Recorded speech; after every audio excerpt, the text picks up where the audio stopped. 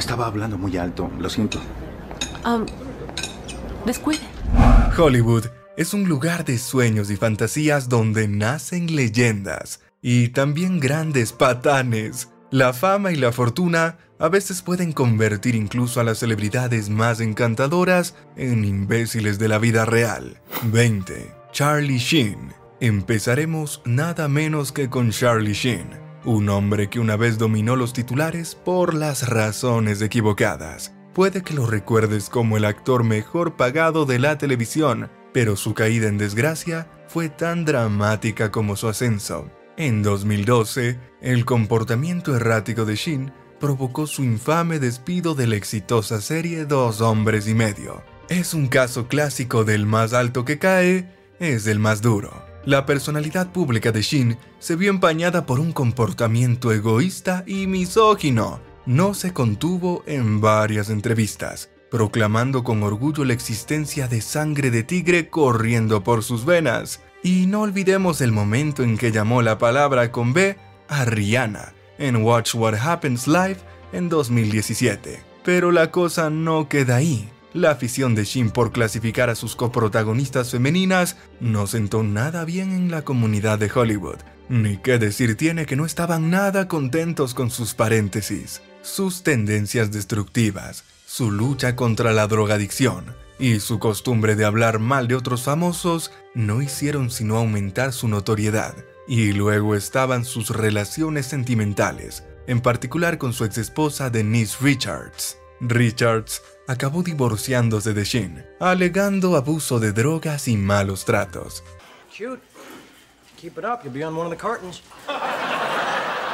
El espectáculo público incluyó incluso acusaciones de que Shin miraba material explícito durante su matrimonio, un giro extraño en su ya inestable relación. Las cosas se pusieron tan feas que su tercera esposa se sintió obligada a solicitar una orden de alejamiento, expresando verdadera preocupación por el estado mental de Shin. En sus propias palabras, me preocupaba mucho que Shin esté actualmente loco. 19. Steven Seagal. Pasamos a Steven Seagal, un hombre que puede haber sido una leyenda de las artes marciales en la pantalla, pero fuera de ella ha demostrado ser toda una pieza. A pesar de su popularidad como estrella del cine de acción, Seagal se ha ganado la reputación de ser muy difícil de trabajar. Se podría pensar que los actores deberían destacar en el trabajo en equipo, pero no es el caso. De hecho, el creador y productor de Saturday Night Live no se contuvo al calificar a Seagal como uno de los peores presentadores que ha tenido el programa. ¡Auch! Pero eso es solo la punta del iceberg cuando se trata del comportamiento desagradable de Seagal. Tampoco es conocido por trabajar en equipo con sus dobles. En un movimiento bastante infantil, se le conoce por darle patadas donde más duele, justo entre las piernas. No es exactamente el comportamiento que cabría esperar de un profesional experimentado. Las tendencias abusivas de Seagal se extienden también a sus empleados. Una ex modelo fue contratada como su asistente ejecutiva, pero sus funciones dieron un giro sorprendente. Se encontró dando masajes a Seagal y soportando sus insinuaciones inapropiadas cada vez que él quería. Es aterrador ser objeto de semejante trato en el lugar de trabajo. 18. Tommy Lee Jones. Ahora vamos a centrarnos en el único Tommy Lee Jones, un hombre que no solo actúa como un tipo gruñón, él es el verdadero negocio. En Hollywood es raro encontrar a Tommy Lee Jones firmando autógrafos o atendiendo a los periodistas, aunque algunos podrían argumentar que su elección no siempre se ve como un rasgo positivo. De hecho, la mayoría de los periodistas temen una segunda entrevista con él para promocionar una película. ¿Por qué? porque tiene la fama de cortarles la conversación y marcharse sin más. Pero aquí es donde la cosa se pone interesante. En una entrevista con la revista GQ, hizo llorar a un periodista. ¿Cómo? Pues imagínense esto. Tommy Lee Jones, mientras hablaba con la periodista, empieza a partir nueces enteras con sus propias manos. Es un espectáculo extraño y un tanto intimidatorio que hizo llorar a la pobre entrevistadora. Y no olvidemos la famosa vez que le dijo a Jim Carrey, te odio, realmente no me gustas. ¿Cansado de guionistas caros y de pésima calidad para tu canal de YouTube? Autoscripter.ai es la solución definitiva. Di adiós a los guionistas novatos que no son capaces de generar miles de visualizaciones para tu canal. 10 veces más barato. Autoscripter hace que tus vídeos se vuelvan virales. En solo tres pasos, Autoscripter.ai crea un guion realizado a tu medida. Solo tienes que introducir tu concepto de título, seleccionar tu tono y estilo y listo. La interfaz intuitiva hace que editar y perfeccionar tu guion sea sencillo, rápido e inteligente, con cientos de usuarios satisfechos que ya han descubierto esta increíble herramienta. Comienza tu prueba gratuita hoy y observa cómo Autoscripter transforma tu canal de YouTube. Haz clic en el enlace de la descripción del vídeo ahora. No puedo aprobar tus bufonadas. Se podría argumentar que fue demasiado duro con Carrie, pero hay que reconocerle el mérito. No puedo aprobar tus bufonadas es probablemente una de las formas más creativas e hilarantes de decirle a alguien que se vaya a paseo. 17. Chevy Chase. Es doloroso admitirlo, pero Chevy Chase está lejos de ser el adorable e hilarante bobalicón que se ha retratado a sí mismo. De hecho, se ha ganado la reputación de ser un completo imbécil. Y no son solo rumores. Incluso sus compañeros de Saturday Night Live han expresado abiertamente su desdén por él cuando vuelva como presentador. ¿Por qué? Porque constantemente se comporta de forma grosera con todos los que le rodean. Y eso no es algo que se puede esperar de una leyenda de la comedia.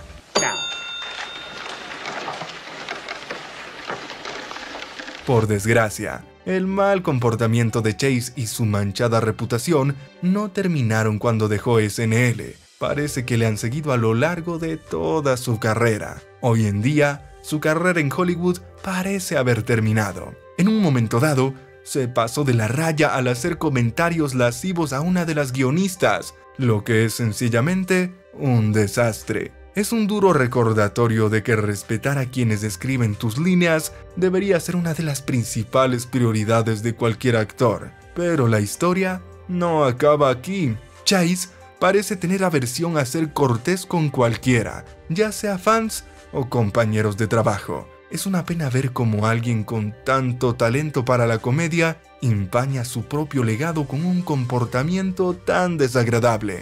16. William Shatner el Comedy Central Rose de William Shatner fue un momento memorable, no porque celebrara sus logros, sino porque proporcionó a las estrellas la oportunidad perfecta para dar rienda suelta a su rabia contenida hacia este supuesto gruñón de Hollywood. Resulta sorprendente saber que, incluso en el plató de la emblemática serie Star Trek, la mayoría de sus compañeros de reparto no le soportaban. ¿Por qué? porque siempre se portaba mal con todos ellos, lo que le valió el nada halagador apodo de Capitán Gilipollas. Puede que no sea el apodo más creativo, pero lo cierto es que no deja lugar a dudas. Un incidente particularmente chocante que pinta Shatner de forma negativa es su ausencia en el funeral de Leonard Nimoy. Fue una muestra de indiferencia que dejó a muchos perplejos y decepcionados. Además, el mal comportamiento de Shatner ha empezado incluso a alejar a los fans, cada vez más desencantados con su actitud. 15. Satsa Gabor. La siguiente historia trata sobre Satsa Gabor, una mujer que vivió hasta la madura edad de 99 años, pero que dejó tras de sí un legado de desagrado. Satsa Gabor, la actriz de origen húngaro, fue elogiada como una de las celebridades con más talento y glamour de su época, cuando falleció en diciembre de 2016.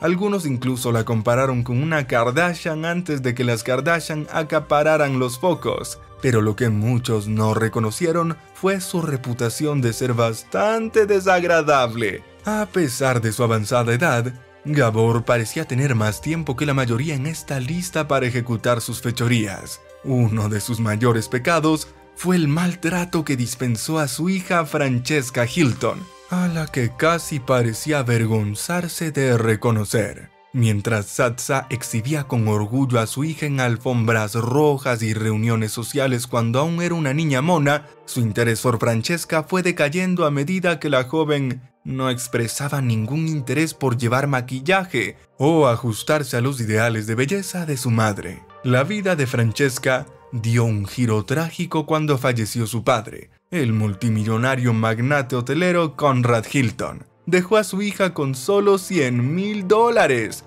una suma que provocó una batalla legal sin tregua. Desgraciadamente, Francesca perdió el caso y agotó toda su fortuna en el proceso. Con una mínima ayuda económica de su madre, vivió los días que le quedaban sin un céntimo, lejos del lujo de Beverly Hills. 14. Lou Reed. Reed fue un hombre de inmenso talento conocido por sus contribuciones a la música tanto como miembro de The Velvet Underground como en solitario, con canciones emblemáticas como Walk on the Wild Side y Perfect Day. Reed se ganó un lugar entre la realeza de la música. Incluso hoy, casi cuatro años después de su fallecimiento, se le recuerda como un visionario y uno de los mejores compositores que ha dado la tierra.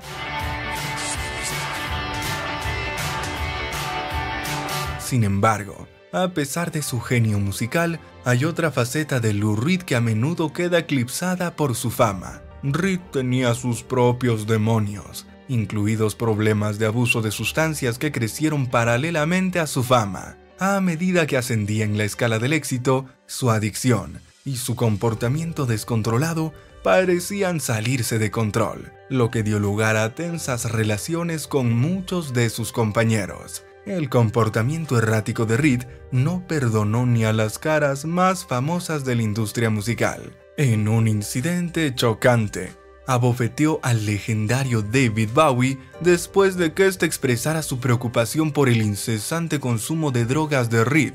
No fue un hecho aislado, ya que la boca de Reed a menudo le metía en problemas. También se encontró el lado equivocado de Bob Dylan, participando en una serie de insultos antisemitas contra el icónico cantautor. 13. Robin Williams. Su repentina y trágica muerte el 11 de agosto de 2014 causó conmoción en todo el mundo. Muchos no podían entender cómo alguien como él, con fama, fortuna, una bella esposa y una reputación como uno de los mejores cómicos de todos los tiempos, podía sucumbir a tal destino. Sin embargo, a medida que vamos desgranando las capas de su vida, encontramos una historia que no es tan sencilla como podría parecer. Robin Williams, sin duda una de las personas más divertidas de su época, suele ser considerado un genio de la comedia, pero aquí está el giro. No era el gran cómico que a menudo se presentaba después de su muerte, aunque sus actuaciones de monologuista deleitaban al público e impresionaban a los dueños de los clubes, el material que interpretaba no siempre era suyo. Williams tenía una persistente falta de confianza en su capacidad para escribir chistes. Para compensarlo, tomaba prestados chistes de otros cómicos sin ofrecer ninguna compensación a cambio. 12. John Lennon. John Lennon suele ser recordado como un mártir de la paz, los medios de comunicación y la mayoría de sus fans lo han retratado como un símbolo de la era hippie, un defensor del amor y la paz cuyo mensaje se perdió trágicamente en un mundo consumido por la fama, la fortuna y la guerra. Pero a medida que profundizamos en su vida, descubrimos una figura más compleja y controvertida. Lennon, sin duda, uno de los músicos más dotados del siglo XX, realizó importantes contribuciones a la música y al activismo. Sin embargo, su vida personal se vio empañada por decisiones que causaron dolor a quienes más le querían. Durante el apogeo de su fama como Beatle, descuidó sus responsabilidades como marido y padre. Su hijo, Julian Lennon, a menudo se sentía relegado a un segundo plano, mientras su padre recorría el mundo, se drogaba y mantenía relaciones sexuales con miles de mujeres, todo ello sin dejar de estar casado. Solo en los últimos años de su vida, tras la disolución de The Beatles, Lennon consiguió sentar la cabeza y tener una vida más tranquila con Yoko Ono, con la que tuvo un hijo. este segundo intento de paternidad pareció más exitoso, sugiriendo que gran parte de sus fracasos anteriores podrían atribuirse a las inmensas presiones de ser el miembro principal de la banda más famosa del mundo. No obstante, el estrés no puede excusar del todo su mal comportamiento en el pasado y su negligente paternidad. 11. Bing Crosby. Bing Crosby, a menudo celebrado como una de las voces más icónicas de la historia de la música, tuvo una vida que cantaba una melodía mucho más discordante entre bastidores. Su hijo mayor, Gary Crosby, descorrió el telón de los oscuros secretos de la familia con su biografía reveladora de 1983, Going My Own Way. Según Gary, Bing Crosby no era la figura paterna cálida y cariñosa que muchos creían. Por el contrario, a menudo recurría a duros métodos disciplinarios, esgrimiendo severos sermones y un cinturón de cuero tachonado como herramienta de castigo. Sorprendentemente, Gary no era el único blanco de las medidas disciplinarias de su padre. También sufría repercusiones cuando sus hermanos se portaban mal, pero los malos tratos no se limitaban a los azotes. Se dice que las criadas sometían a los niños a un horrible suplicio conocido como tratamiento de ahogamiento en la bañera. Este cruel castigo se infligía si los niños eran sorprendidos hablando en la cama o se despertaban demasiado pronto. Trágicamente, dos de los hijos de Bing Crosby lucharon contra la depresión y acabaron suicidándose, lo que arroja luz sobre las cicatrices duraderas dejadas por su tumultuosa educación. 10. Gene Kelly. Gene Kelly, el icónico bailarín y leyenda de Hollywood, tenía una reputación que iba más allá de sus deslumbrantes movimientos de baile. Se dice que cuando la bailarina Sid Charisse volvía a casa del MGM con moratones, su marido asumía que había estado trabajando con Jim Kelly ese día. Pero las supuestas transgresiones de Kelly pueden haber ido más allá de simple dureza con sus compañeras de reparto. En una impactante revelación de 1970, se informó que Jim Kelly hizo una importante donación al ejército republicano irlandés provisional, IRA. Al parecer se reunió en secreto con el líder del IRA, Keithal Galding, durante una misión clandestina de recaudación de fondos en Estados Unidos, y le entregó un cheque de 20.000 libras. Según la historia, el mensaje de Kelly a Golding era escalofriante. Este dinero es para armas. Desde luego no quiero que vaya a parar a ningún bienhechor. Cabe señalar que esas acusaciones no aparecieron hasta después de la muerte de Jim Kelly y su viuda Patricia Ward Kelly las refuta con vehemencia. Ella ha afirmado que su difunto marido estaba orgulloso de su herencia irlandesa, pero no poseía una cantidad significativa de dinero ni era un individuo violento. 9. Milton Berle. Milton Berle tenía fama de ladrón de chistes sin pelos en la lengua ganándose el apodo de ladrón de chistes malos. RuPaul incluso le llamó la atención en los MTV Video Music Awards de 1993. Los dos no se llevaban bien ni delante de las cámaras ni fuera de ellas, y lo que debería haber sido un traspaso de antorcha se volvió incómodo cuando RuPaul se salió del guion. RuPaul puso fin a su relación profesional con MTV poco después del incidente. El tío Milty se ganó la prohibición de por vida de presentar en el programa Saturday Night Live de la NBC, cuando actuó como presentador invitado en 1979. Berle intentó tomar el control de todo el programa durante los ensayos, eclipsó a sus compañeros de reparto y recicló fragmentos cómicos. Lorne Michaels intentó evitar que se repitiera, pero en 2003 aparecieron copias del programa. En este caso, el comportamiento imbécil de esta estrella de Hollywood repercutió en el trabajo de otras personas.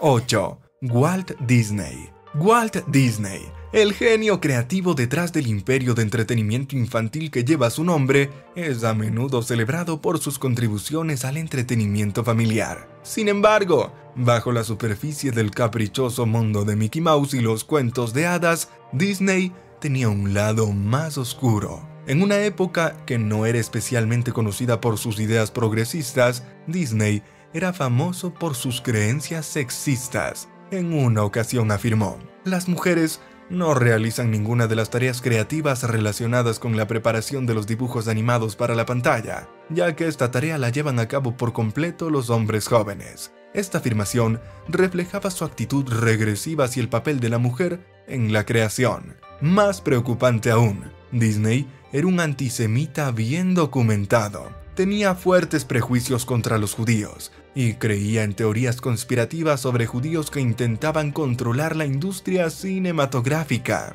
En 1983, justo antes del estallido de la Segunda Guerra Mundial, Disney recibió en su estudio de Hollywood a la infame propagandista nazi Leni Riefenstahl. Este encuentro arroja una oscura sombra sobre su legado. 7. Errol Flynn. Errol Flynn el apuesto espadachín conocido por sus papeles en películas clásicas de aventuras, llevó una vida que distaba mucho de los heroicos personajes que representaba en la pantalla. Su legado se ha visto empañado por varias polémicas y escándalos. En 1980, la biografía de Charles Hickman, Errol Flynn, de Untold Story, Errol Flynn, la historia jamás contada, hacía acusaciones explosivas sobre Flynn. Hickman afirmaba que Flynn había mantenido múltiples relaciones homosexuales e incluso le acusaba de simpatizar con los nazis. Sin embargo, estas afirmaciones se basaban en pruebas circunstanciales y han sido desmentidas por biografías posteriores.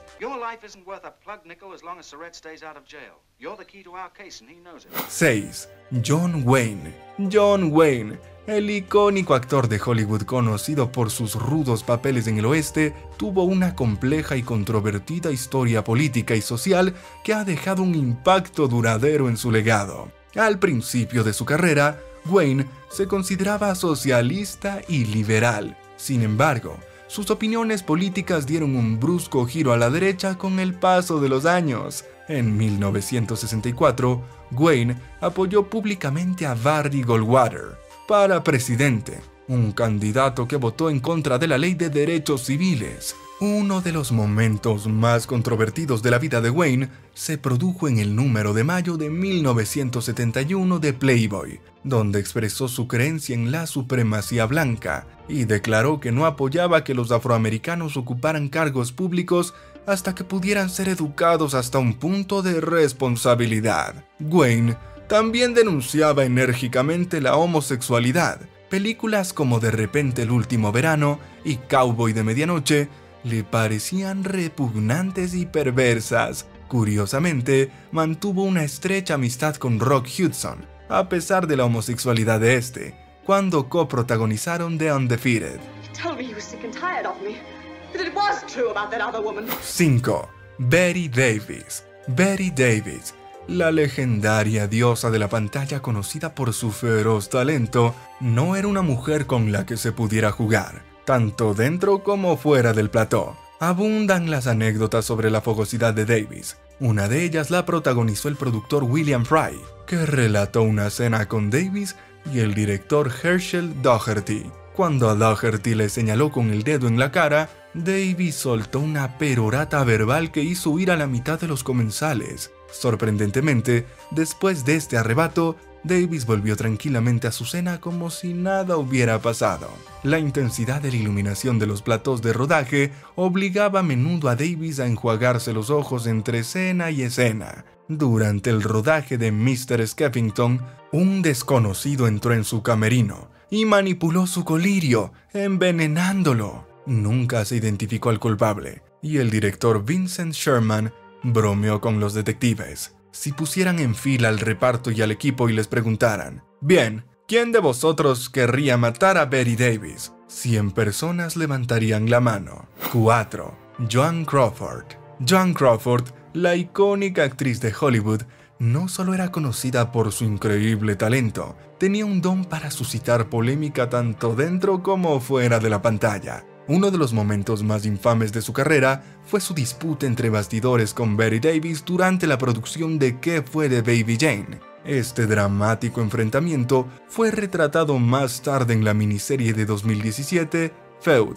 Davis hizo todo lo posible para que Crawford fuera despedida de la película, pero sus esfuerzos fueron en vano. Cuando Davis recibió una nominación al Oscar y Crawford no, se desató el caos. Crawford se las arregló para participar en la ceremonia de los Oscars reservando un lugar para presentar el premio a la mejor directora y haciendo campaña contra Davis. Sorprendentemente, el Oscar al mejor director fue para Anne Bancroft por El Trabajador Milagroso en 1963, y John Crawford aceptó el trofeo en nombre de Bancroft. En 1978, Christina C. Crawford, una de las hijas adoptivas de John, publicó el libro Mommy Dearest, en el que relataba toda su vida de abusos. Aunque algunos de los hijos de Crawford negaron los abusos, su alcoholismo, sus celos y sus obsesivos hábitos de limpieza eran ampliamente conocidos en Hollywood. También se rumoreó que Crawford había tenido una aventura de una noche con Marilyn Monroe y fue apodada la otra mujer en múltiples divorcios. Barbara Bennett is here from New York doing a cover story on me for Redbook.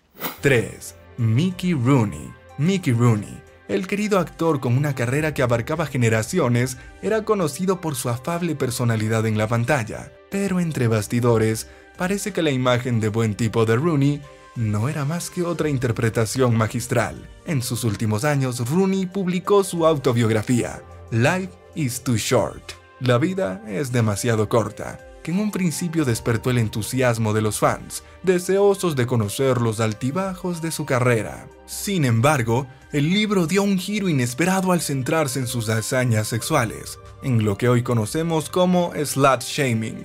No se detuvo ahí. Ronnie también divulgó detalles personales sobre la vida de otras estrellas de Hollywood, contribuyendo a los rumores sobre la doble vida lésbica oculta de una actriz, aunque se abstuvo de dar nombres. La vida personal de Rooney fue un torbellino, marcada por ocho matrimonios e innumerables relaciones extramatrimoniales, todas ellas expuestas en su libro. En 1938 recibió una reprimienda del jefe de los estudios de MGM, Louis B. Mayer, por su aventura con Norman Shaver, que interrumpió la producción de María Antonieta. Rooney Incluso afirmó haber visitado por primera vez un burdel en compañía de su mentor, Milton Berle, y relató haber presenciado un encuentro lésbico con Talua Bankhead. 2. Lucille Ball. Lucille Ball, la icónica comediante conocida por su papel entrañable de Lucy Ricardo, podía hacer reír al mundo entero en la pantalla, pero parece que fuera de ella tenía un comportamiento totalmente distinto. A pesar de interpretar a personajes divertidos y realistas, el sentido del humor de Bali parecía desvanecerse cuando las cámaras dejaban de rodar. Tenía fama de grosera, sobre todo con las personas que no compartían su estatus de celebridad. Un incidente en un avión ejemplificó su comportamiento cuando ignoró por completo a una azafata, optando por comunicarse a través de su asistente. ¿Qué le dijo? Lo siento, la señora Ball no habla con la ayuda. Ni siquiera Richard Barton, un actor legendario, tuvo palabras amables para Lucille Ball. En sus diarios que pronto se publicarán, Burton la describió como un monstruo de asombrosa falta de encanto y monumental falta de humor. La criticaba por ser una vieja cansada que dependía únicamente de su programa semanal, que llevaba haciendo 19 años. Burton alegó que se dedicaba a hacer el ridículo a la desesperada y a cortar las risas de los demás. Todo ello mientras controlaba nerviosamente los índices de audiencia del programa. Es innegable que Lucille Ball abrió nuevos caminos en la televisión, revolucionando la comedia de situación moderna. Sin embargo, su comportamiento exigente entre bastidores dejó una impresión diferente en quienes trabajaron con ella. Tony Randall afirmó en una ocasión que mandaba a todo el mundo y no perdonaba los sentimientos de nadie.